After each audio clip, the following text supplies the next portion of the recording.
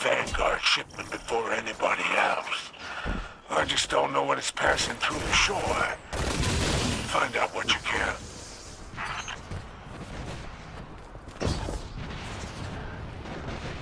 Thank you.